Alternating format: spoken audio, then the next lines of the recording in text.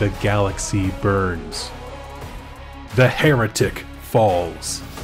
And the Emperor protects. Welcome, Imperial citizens, to The Emperor Protects. My name is Doug, along with my great co host, Dan. How are you, Doug? Hey, I'm doing really good, man. Thank you so much. Uh, sorry, it has been just a hot minute since our last episode. Summer was a, it was a crazy one for mm. both of us. We had a lot of traveling and uh, family stuff, so appreciate the patience. And today, I could not be more excited, Dan. We're talking about one of my favorite books in all yes. of Black Library. Hey, you are definitely a fanboy here when it comes to Know No Fear. Yes. Oh my gosh. Yes. I uh, I haven't read it in several years, and so I forgot how much I love it. So this was just a good excuse to uh, to hop right in. So, um, that is our topic for the day. We're just going to be walking through the major beats of the book. As always, uh, you know, we just cover the the broad strokes to make it condensed and, and manageable, I guess, consumable. Mm-hmm. but right. uh, please read this book for yourself. There's so many cool side stories and I don't know bits and bobs. Any other any thoughts on there? So uh, before we jump in, Dan, what have you been working on? I know that you uh, started your White Scars. I think you paused yes, them I, as well. I have. So what I have is I think I have what would definitely pass as a 2,000 point army. So I have my three squads of 10 Marines. I have a squad of five special weapons. I have two Leviathans, a Contemptor Dread, and a Praetor and a Sicaran. So I think all that added up would probably come pretty close to 2,000 right now. Um, so that's all built and primed.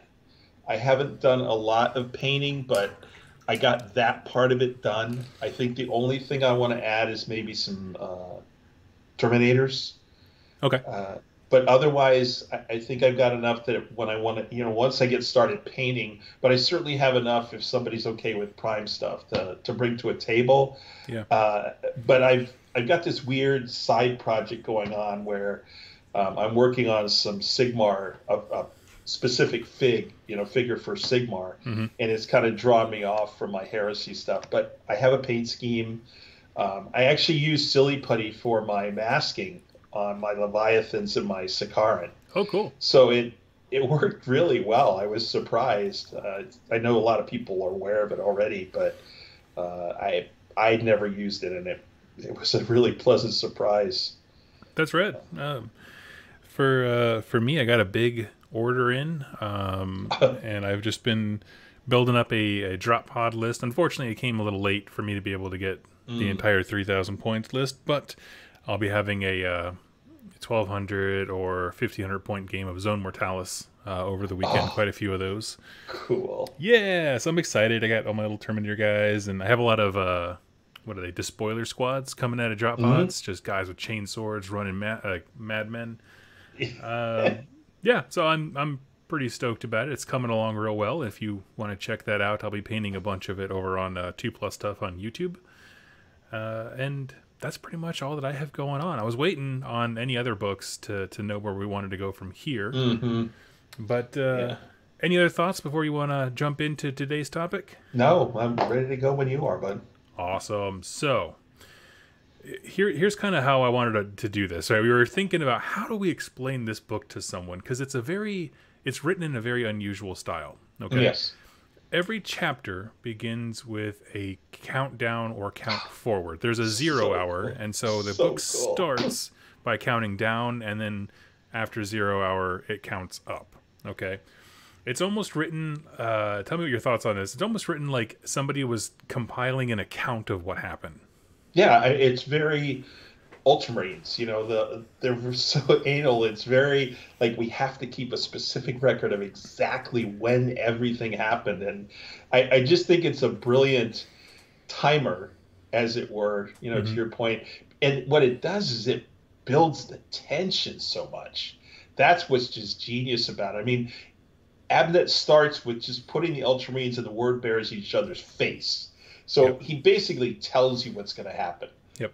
so you know it's just with that timer you're talking about you i think we started off at like minus 130 hours or something mm-hmm. when when a specific thing happened it's you know mark of calth minus 130 point whatever it was and you know it just counts down like that and you're going come on, come on, come on. We know what's gonna. Yeah, it was a really neat mechanic. I I loved it. Yep, absolutely. And and when it's doing this this uh, before and after, there's actually multiple perspectives that we follow mm. throughout the course of this book.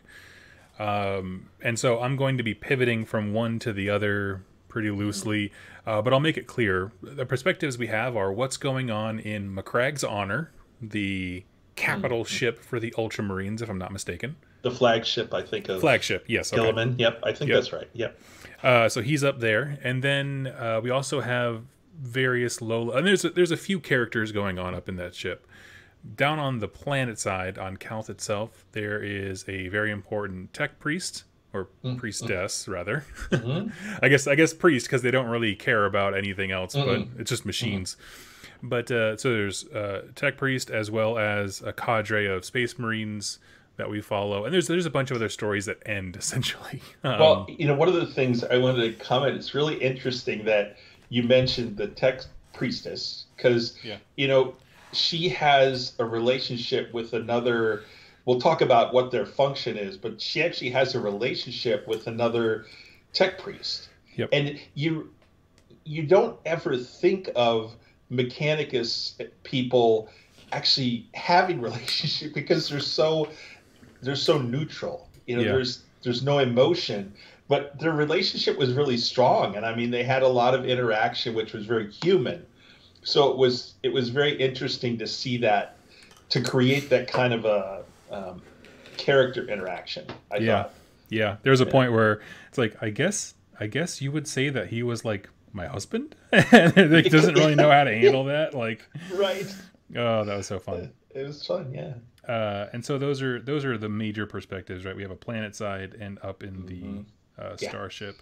And so uh, let's start jumping into this. Our, our countdown begins as the Ultramarines are standing at Calth, one of their worlds within Ultramar, and they're getting ready to basically rally their forces for a giant orc hunt. Um, and and so the the plan, as per Horus's instructions, is that the word bearers are going to meet up with the ultramarines and together they're gonna they're gonna bury some some skeletons and rejoin as brothers and they're gonna hunt orcs together because that's what bonding looks like in the grim darkness of the 41st century or millennium. yes, yes. Um, you know, everyone's kind of apprehensive about it. The ultramarines really don't seem to like the word bearers. Everyone thinks they're creepy and uh, you know they don't do anything to dissuade that opinion of them. and no, no. Guilliman the entire time is just going through and be like, everyone just be cool. Like we're, we're trying to build some bonds of brotherhood. It's going to be fine. This family vacation is going to fix everything," said every disappointed dad ever. Yeah. And uh, and it's gonna it's gonna be great. Um, the the word bearer forces are kind of trickling in, and when our story picks up, essentially they're mustering. So ships are going down to the planet uh, from both Ultramarines and Word Bearers to rearm, rest. You know, um, basically just get themselves ready for this orc invasion. Right? They send mm. Titans down to go get work done and repaired and all this kind of stuff. Um, and uh, Lorgar is not quite there yet. He's like, "Oh, just I'll be like another hour or two, whatever." Mm. Um, and and, and that's kind of where things stand. Uh, any notable characters at this point when things are cool? I, you know, one of the things I thought was interesting was Guilliman actually expresses his resentment of being ordered to destroy Monarchia, and that's so unusual for him to do something like that. You know, it's at least that's the perception I get, you know, is that he really is sorry for having had to do that. He doesn't understand why the emperor asked him or told him to do that. Mm-hmm. Uh, and I think, in a way, it feeds into his cautiousness, which is unusual. And he's usually, he knows what's going on, he's very aware of his surroundings. And I think he he doesn't say or do things that he probably would do out of caution because he's kind of, you know, trying to, as you said, trying to, you know, get ready for the vacation with his brother.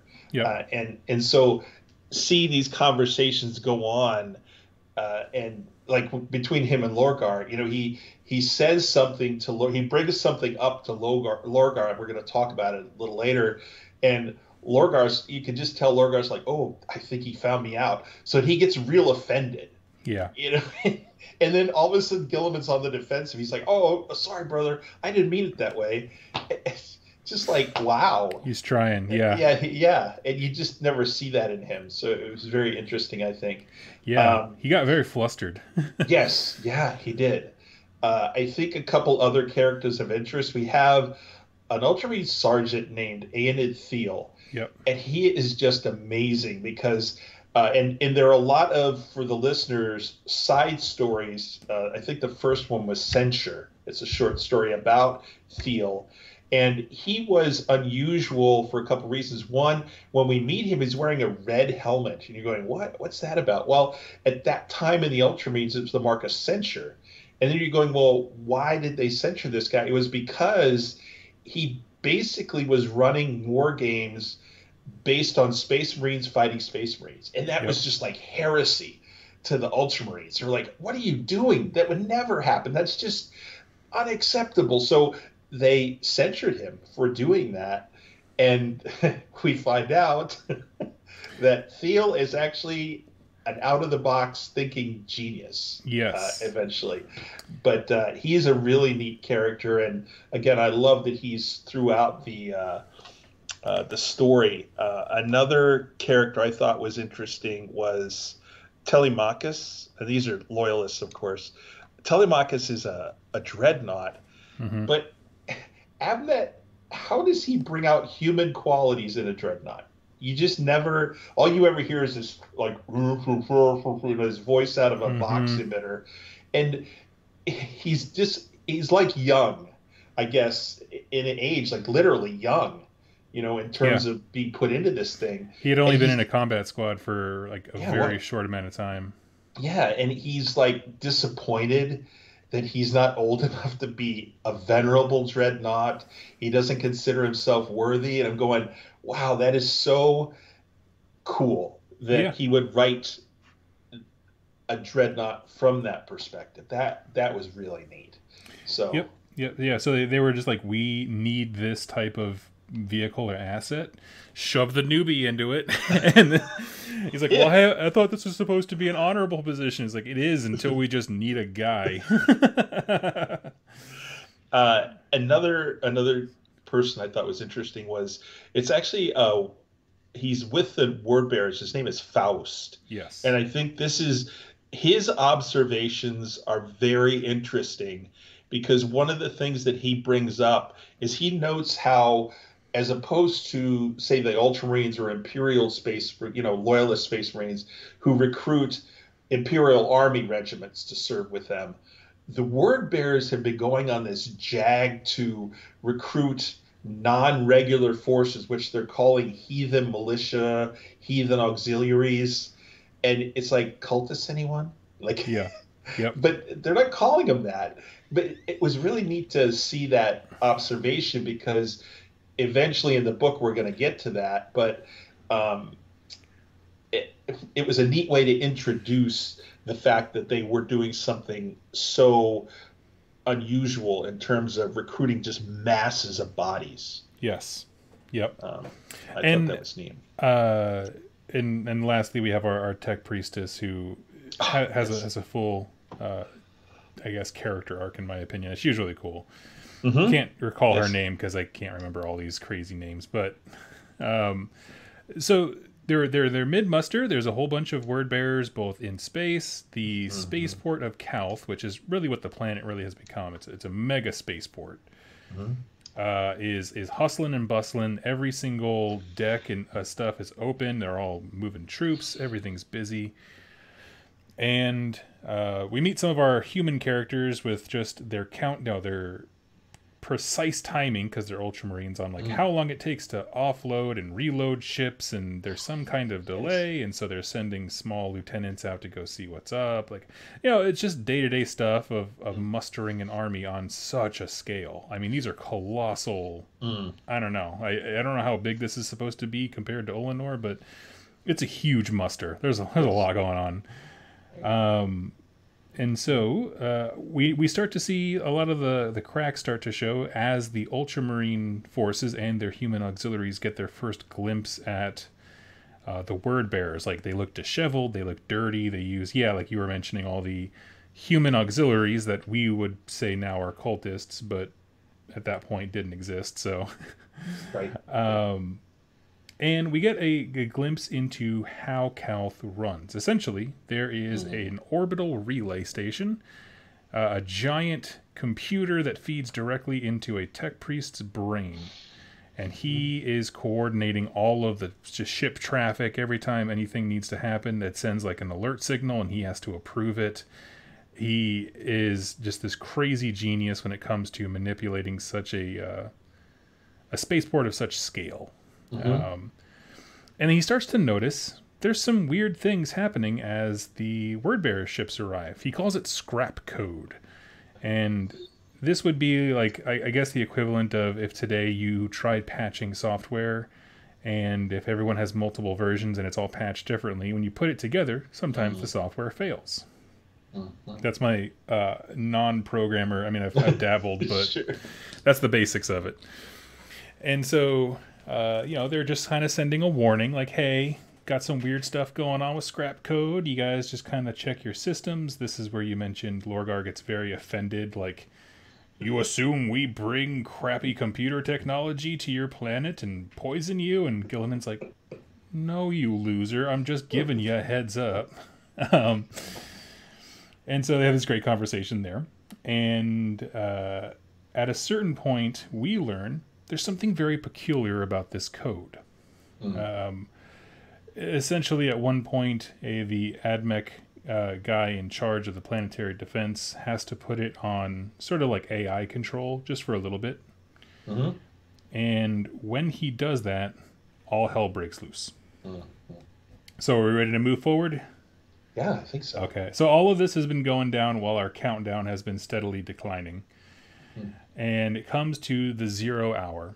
And mm. when that happens, a ship known as the Campanile, which is a small, sort of a freighter, a bulk freighter, yeah, yeah, um, fires up his engines and goes to just to dang near as fast as the thing can go and still be like sub light speed. Sure. It just fires off the engines and careens straight into the Calth airport or spaceport. Yeah. now, in space, and I love the way that he really went into painful detail about it. There's so much inertia in in, in this ship's. Oh. It turns into just a ball of death. Yeah. So it crashes into one ship, but because it's space, all those things just keep moving. And so one freighter crashing into a spaceport with how busy it is causes a, devastating amount of damage. Mm. And and while it's happening, you know, they were like, "Oh, we're at our home base. Um, our sensors aren't alerting us to any enemies nearby, so no one has shields up. Like it's they're just chilling." Oh. Oh, and so this this ship, the camp, and Campanile, goes tearing through, and that was my favorite scene of the book. Is just it, it's it's diabolical because the Space Marines are sitting there looking at this, and they're like, "Okay, well, clearly this is some kind of digital error, right? Like somebody fired up the engines, like what the heck? Or maybe the scrap code did it or something. They can't really mm-hmm. figure it out. They're not putting the story together. And at the same time, all the word bearer ships go ballistic. They just start immediately firing off missiles. Um, yeah, I mean, it just gets, it, it goes insane. And this is just in space. Right. Um, do you want to take what happens on ground? Well, I wanted to talk, if it's okay, with the the scrap code and where it actually came from. Yes, please. Which is interesting, I think, because you mentioned how it kind of started niggling its way into the systems. Well, it turns out that the word bearers are are creating this scrap code on the surface.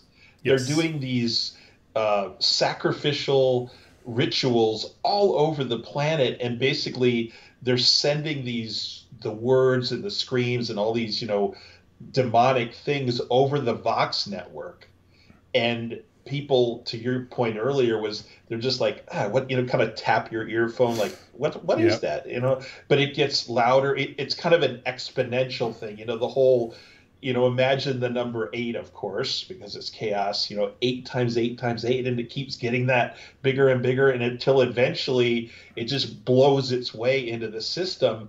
And the thing that's crazy about it to me, Doug, is that literally it's demons. Yes. Like like the the scrap code and, and the other thing is kind of funny. I think this is the first time I ever heard that term. Scrap code? Yes, and that's the first time I can remember hearing it. I know we had like in Mechanicus, which we're going to eventually talk about that book. Um, it was in there, but like it's just it's a demonic, chaotic, possessed form of computer language, and you know, so to, you were asking like the Ultramarines are going, what happened on this ship? Well, basically, it was possessed. Yep. it was just like, oh my god, the way he was describing how these rituals were taking place and the effect they had to create this possession of this of the orbital grid was kind of frightening almost. Yeah. Yeah. So at the same time as Campanile goes off, uh, this scrap code that you're talking about, it basically lets out a demonic shriek, and any uh, AdMech character who's plugged into anything orbital, anything that this code could touch, um, basically, if it was on the internet, uh, to put it really bluntly, like in our modern way, uh, immediately they all had like cerebral hemorrhages and stroked out. Like it just, it just killed anybody who was plugged in. Um, mm-hmm our main uh, Magos, who tried to plug himself back in to like regain control of the system, he has the same fate, but before he does so, he leaves a cryptic message to his uh, counterpart or assistant, uh, our female tech priest that we talked about before, who we're going to yes. continue with going forward. Yep.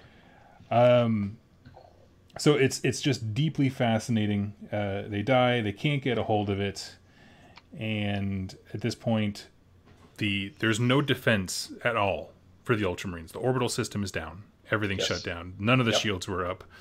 Um, the traders are just opening fire with everything on the ground.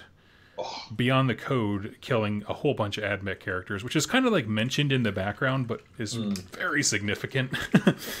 um, everything just erupts. All those ships that were bringing word bearer troops and space marines and you know for R and R or just reammunition and supply, all of them just start marching in these well columned formations when nobody else is ready for it.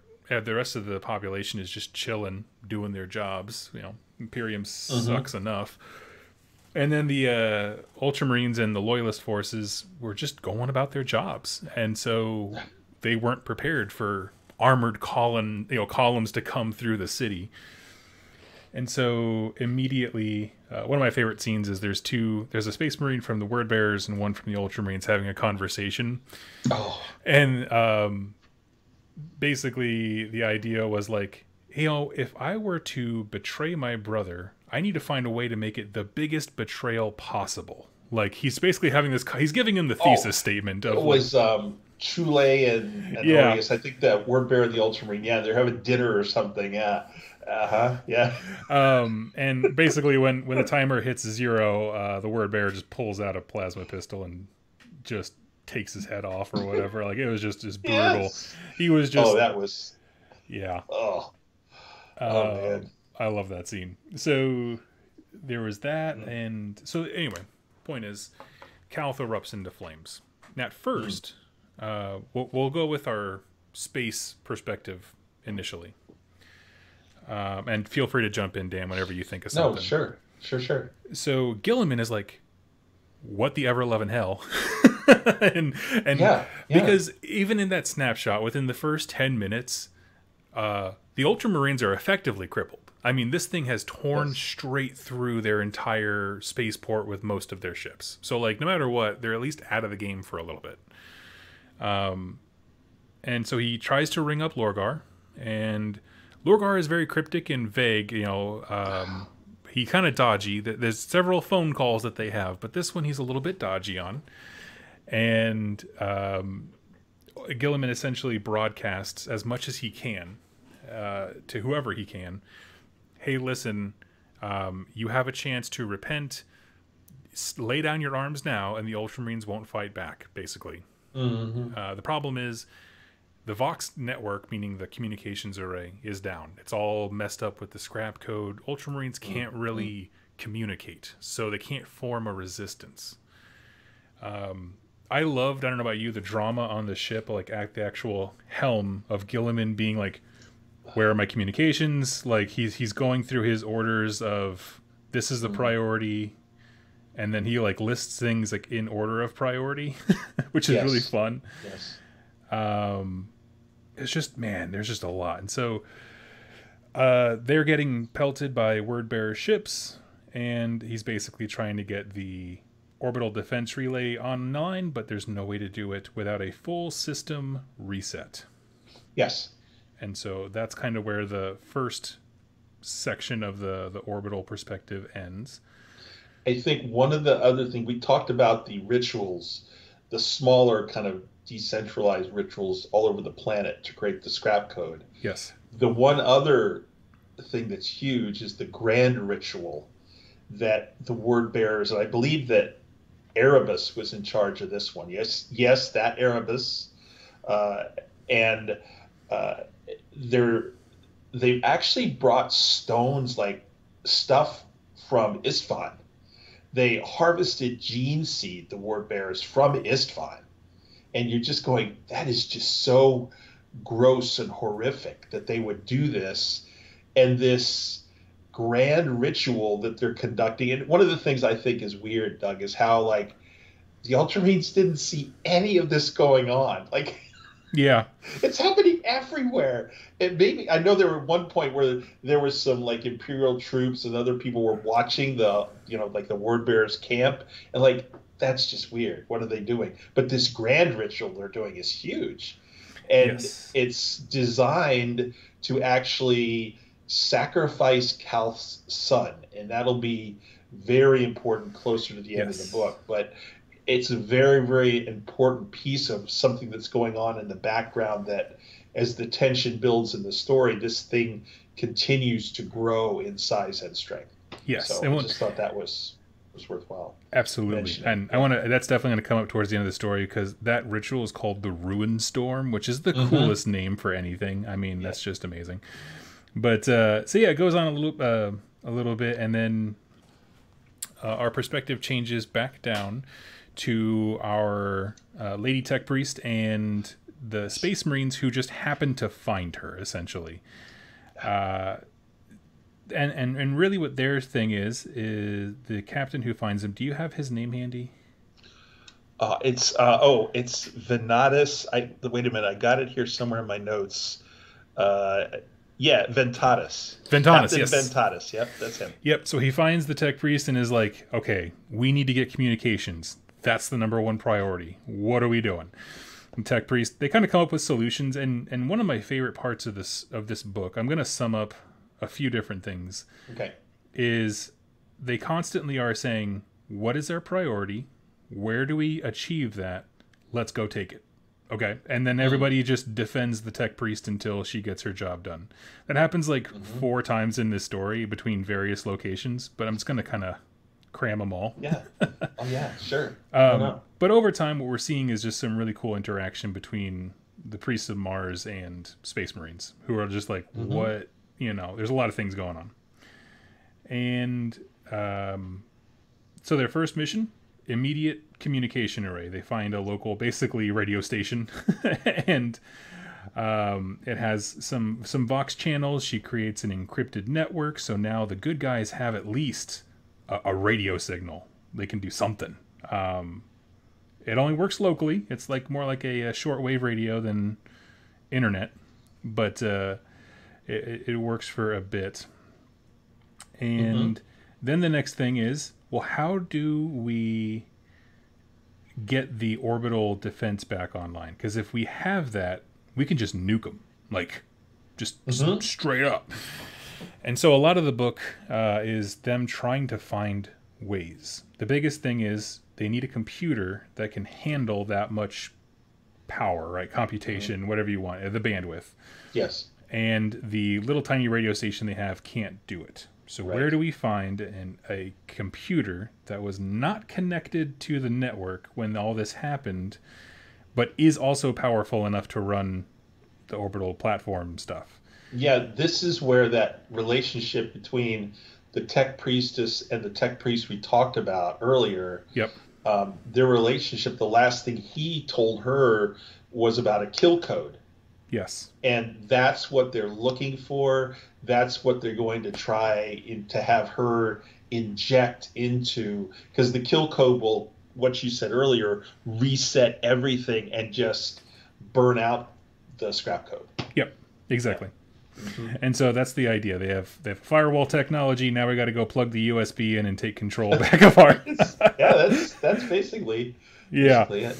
Uh, and so then they set their sights on basically a, a- a relay station. But what's great is uh, as they're looking for a computer that can run this, she remembers, yeah, her her husband, not husband, uh, of the Mechanicum who just recently died, and basically discerns that he had kept a, we'll say, an extra computer in a storage locker uh, over by the docks.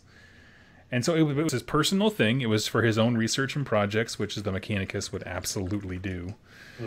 And so basically, once she finds her late partner's hus- uh, computer, that is when they are able to introduce the purge code, regain control of some measure of the network. And essentially, what's happening is our perspective pings between the Macragge's honor and this group of survivors as they have to kind of work in tandem to secure objectives to get the orbital relay back online. it. It felt like watching a tennis match, man. It just Yeah, exactly. on the surface, in space, on the surface, in space.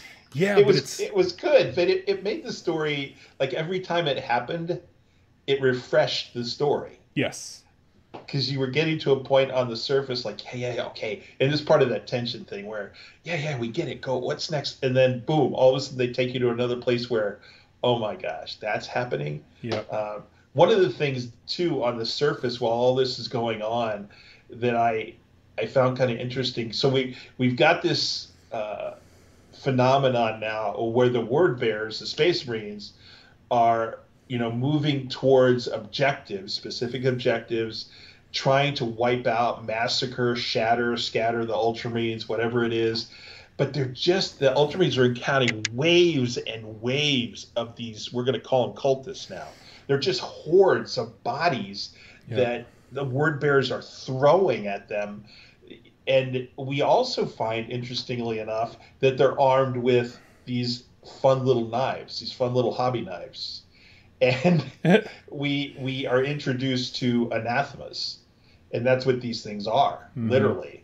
Um, and so it, it was just the picture of this happening and how the ultramarines were just being overwhelmed on one hand. This is what i i kind of perceive on the other hand i thought it was really cool that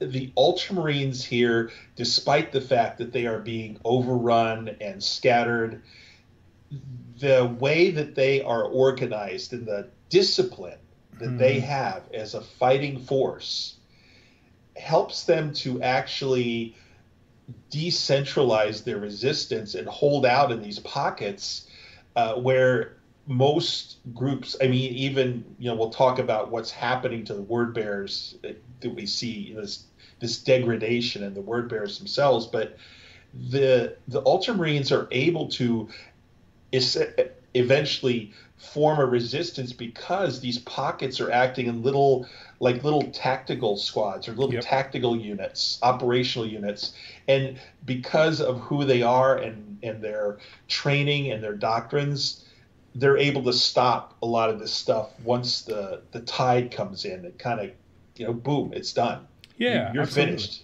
and and i just thought that was really cool to see that um, contrast Yes. Yes. Yes. Yes. So Um, surface to yeah exactly and on that point so as the attack goes it certainly starts fully in favor of of the traitors i mean the whole the, Oh. the word bears caught him by surprise and and kicked him not so much in the face but more of the groin area and uh yeah and they had they had so many legs up, but the problem is is that they get very distracted by go, starting to to dip into their chaos rituals and stuff. Um, Yeah. The ruin storm is one. Others they just start to lose discipline, and so they just you know I, I want to go hunt ultramarines because they insulted me, and this is no longer about following orders. This is about glory and, and, and offerings to the chaos gods and all that kind of stuff.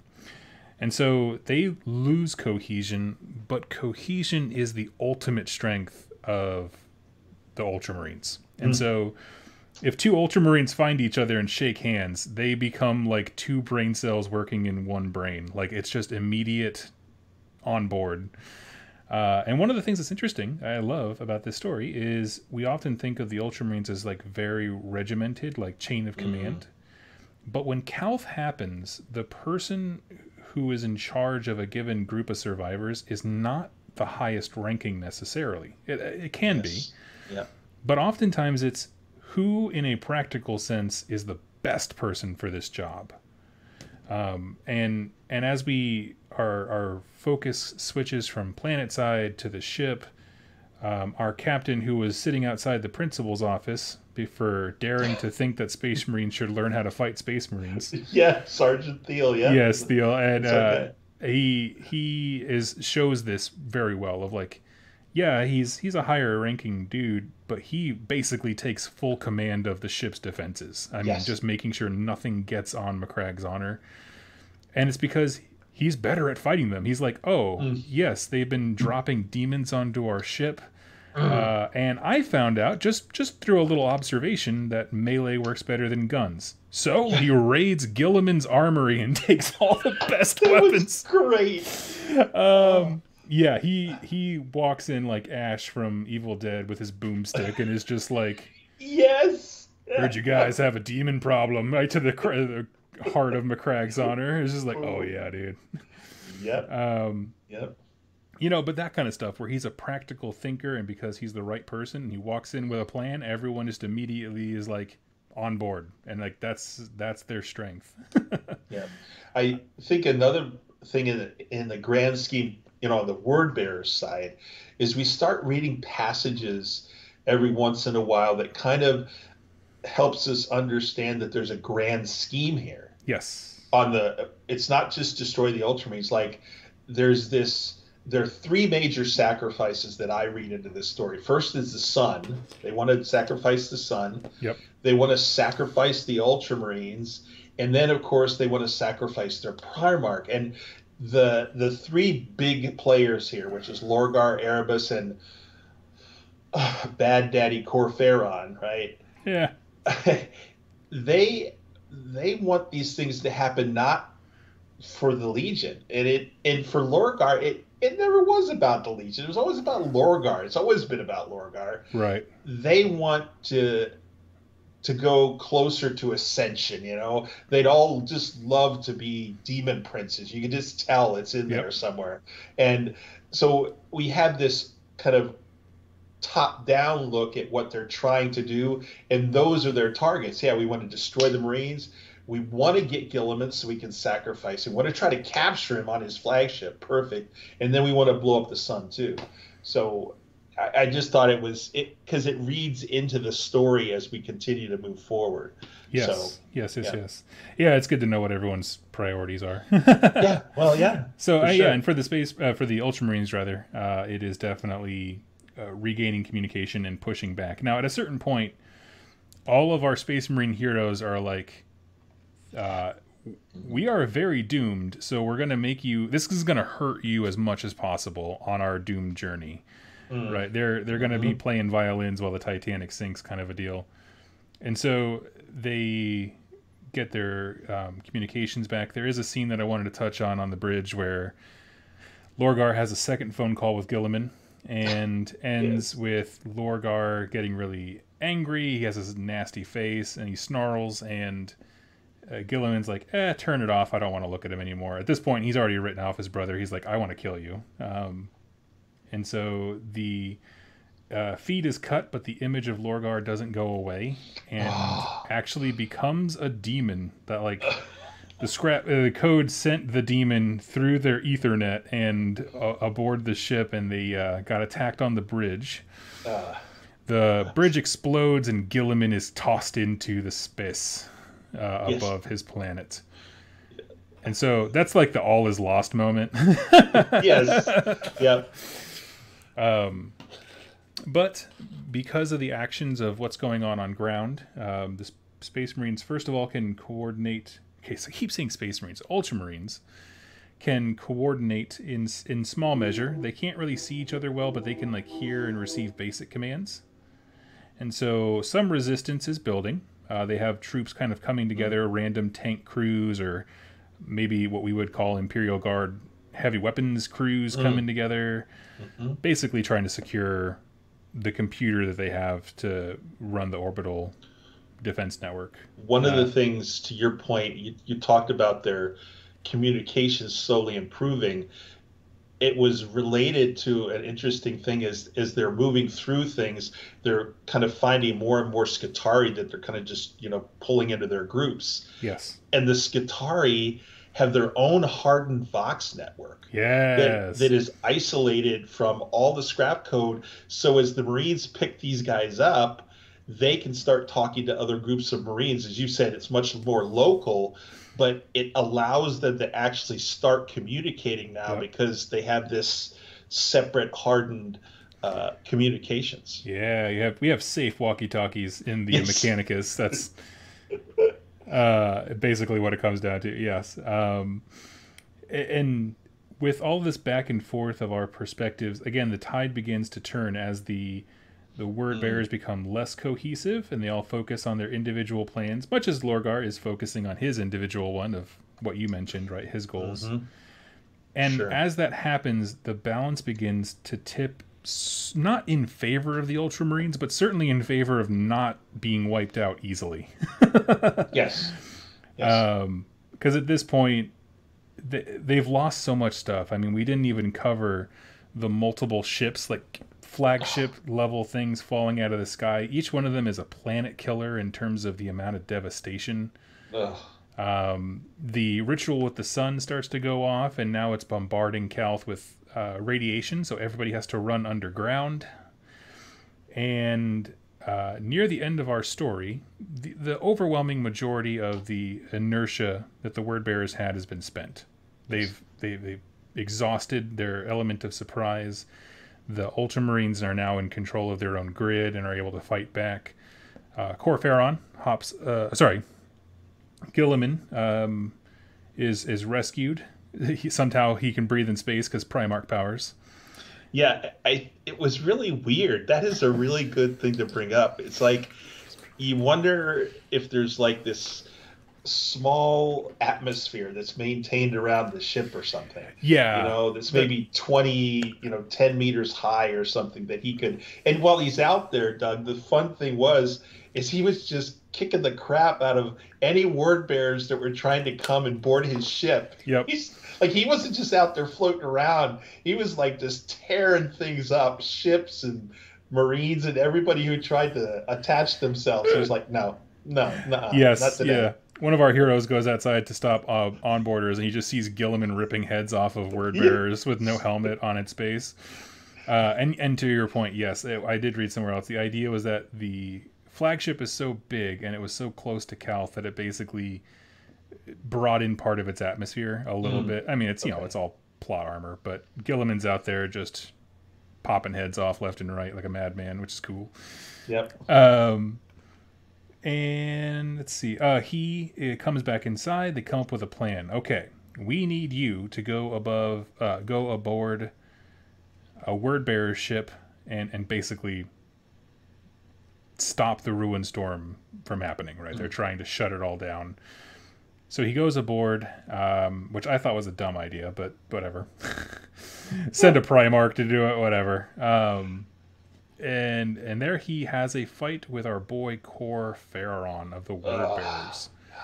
You want to tell me about this fight? I, it's just it's so interesting because if you if you read like other things that have happened like in the Indomitus books you know that uh, guy haley has written where Guilliman is fighting against Nurgle's people in the you know 41st millennium, um, you realize that he's not like he's not immune to psychic powers. No. To the warp, you know, and so uh, I think when you talked about it, they tell they did a teleportarium thing, like a teleport assault, and they came on board Kor Phaeron's ship, and there was not just Kor Phaeron, there was like a whole company of Gal Vorbak. Now, you know, we mentioned that before. This is not the possessed Marines. This isn't like Argel Tal or anything, but they are veterans. I mean, these are really well trained and motivated uh, word bearers that are kind of the bodyguard of Kor Phaeron. And Guilliman just like, boom, he's just like, he's kind of like that ship. He just tears through everything to get to Kor Phaeron. Like there, there are all these space marines in his way. It just rips Not anymore. through them. Not anymore. And so he's barging his way through, trying. Actually, what he's trying to do is get to the cogitators because Yes. he wants to shut down because they know where the cogitator is. If they can shut down the one that Kor Phaeron has on his, uh, actually, I think aren't they on the orbital? I think they're on an orbital platform. That's Yes, I'm kind of sorry, a you're right. relay. Yes. right, that's right. Um, if they can shut that one down, then the, it'll all come back up. But they've got to shut that one down first. So he's trying to break through with that. And uh, Theo that we talked about, he's kind of in there fighting and doing his thing with his Primarch. And all of a sudden, Kor Phaeron kind of steps in the way. And you're thinking, this is like Bad Daddy Kor Phaeron. Like, what is he going to do against the Prime? Well, this is not the Kor Phaeron that we know. This is a guy who is just infused with the warp. And he is incredibly powerful in terms of his ability to manipulate the warp, use warp powers. You know, think of kind of like a super librarian kind of a thing. And he basically just stops Guilliman in his tracks. You're going, oh my, really? Like, Yeah. and so what he does, and this is the part was totally unexpected to me. He pulls out an anathema, and you're going, "Oh yeah, I remember what happened the last time they stabbed a Primarch with an anathema, uh, Horus." You know, and I think you could just tell that Kor Phaeron was like, "Hey, if I stab this guy with this, I can turn him." You just know Right. he's thinking it, right? All I got to do is wound him with this thing, and it's good. Well, the mistake he's making, I thought, when I was reading, is like, don't, you don't, as smart as you think you are, you don't understand this anathema in your hand is not the same anathema that was made specifically for Horus. This is just it's bad, but it's not that kind of bad. Yes. So he gets close enough, of course, to use the knife.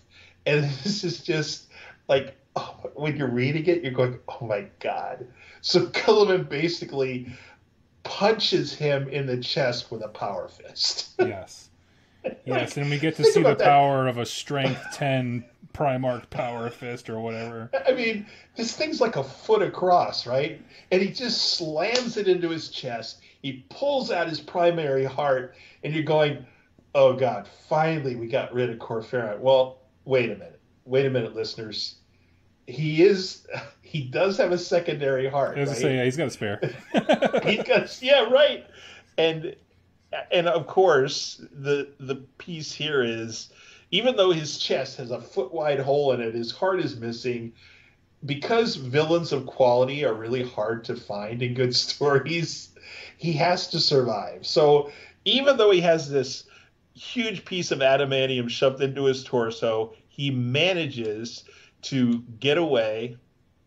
And he rips uses the anathema he rips a hole in reality he steps through and he gets away uh, which but the whole description of this confrontation between the two i thought was just so such good reading Oh, yeah. It was like, yeah, like, I, so powerful Guilliman's like, you shouldn't monologue, dude, and just like cakes him real hard. it's what it was He was. He was monologuing real hard. It was. and and this is this was the other thing. Remember you talked about the two marines that were having the the conversation and the word bearer was talking to the ultramarine.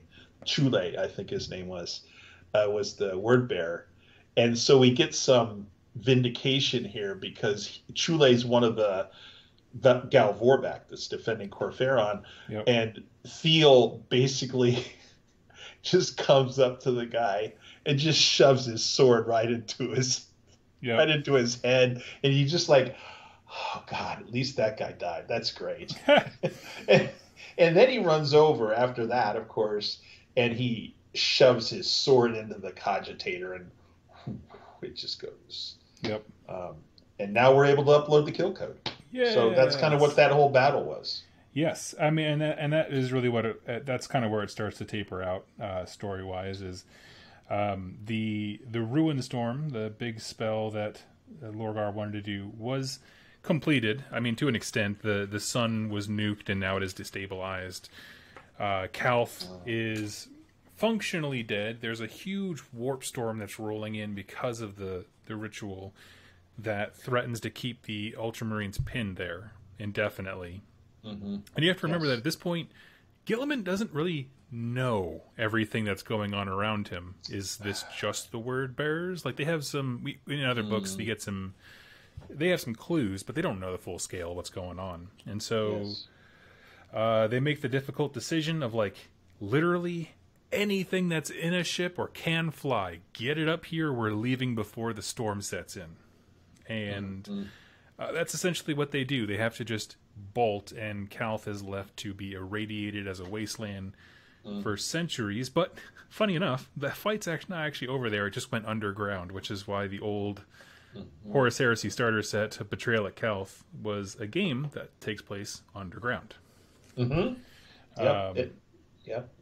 Which I thought was a cool little touch. But well, uh, and your to your point, there's a a collection of stories, short stories. It's a book. Makes sense because of what we talked about. It's called The Mark of Calth. Yes. And it's all about the Underground War. Uh, and we meet Thiel again, and we meet other characters that if you read this book, you'll recognize people. Uh, and it's it's if you enjoy Know No Fear, you would enjoy Bat, the Mark yeah. of Calth, which is really good. And I can't rate this book high enough because we glossed over so many scenes oh. that are just incredible and sad and like mm. I don't know, they're cool. Um, it was very well written. Yeah, you know, we talked about Venatus or Ventatus a little bit. I mean, there's a huge part of the story which we're not going to go into the details where, you know, they they get to this place where they can upload the code, and literally there's an entire word bearer's army waiting for them you know they they push aside the guards of this place but and then once they get control of the orbital grid all this stuff is happening. There's just as you you put it earlier there's just thousands upon thousands of marines and cultists and imperial guard and titans are involved and it's just really cool to have all that happening uh, in the story and makes it makes part of it part of the richness of this story besides what we've talked about. Absolutely. And um, uh, you know, you mentioned the uh, the character Dreadnought before. He uh, basically falls out of the sky and has to be cracked open out of his egg by an, uh, an ultramarine hero, and you're like, well, that guy's having a rough day. Okay. yes, Telemechrus, he is so good. Um, so as a postscript, and I think it's great. You know, I I mentioned in our notes. I think the best subtitle for this is um, you know, Monarchia Avenged. That's yeah. what this really is about. And uh, as a postscript, though, after Calth, the 13th Legion, the Ultramarines, actually went to Ch- Colchis, the home home World Bear's home planet, and they burned it to the ground. Oh yeah. And and because they were so angry, they actually destroyed the planet with cyclonic torpedoes. They didn't just burn it; they destroyed the planet. Yeah. Like this is this is bad stuff. Um, so yeah, it just you know part of this story that I think is really interesting too is that I this is one of the first books where the now we have to put this in perspective, Doug. I mean, this is actually like the 19th book in the series. You know, we've we and we said this in all fairness. You were very very clear that we were going to be jumping around a little yeah. bit, um, but it really to me as you're reading it is one of the first times that the loyalists actually seem to know what the hell's going on and that they actually fight back because most of the time they're just they're done they're overwhelmed yeah. and it's over and then chaos moves on uh, and that's one of the things i liked about it too how uh, you know the the loyalists actually won for a change. You know, it's like Isstvan three, oh they got their butts kicked. Isstvan five, oh god, not again. Yeah. And just again and again and again. And you're reading First Heretic. You talked about that. Well, that didn't work out so well for the loyalists. Yeah. yeah. No, I, I agree. It, it was it was a big deal to have like they are competent, and I loved the the sequence of like we get to learn what's going on with the Ultramarines Mm. Whereas mm-hmm. um, mm-hmm. I felt like in, in terms of the, the battle sequences, we already knew what was happening in the earlier stuff, right? Because we followed and we, we learned about the heresy from Garviel Loken's perspective with the original mm-hmm. three books. But it's different when all you see is the opposition. And so being able to get Guilliman's perspective of like what's happening and their steps yes. to start turning the tide backward. It was really cool. Um, it made for some very compelling stories, and yes. it just made me like the Ultramarines, and that's a that's a tall ask. Yeah, that's true.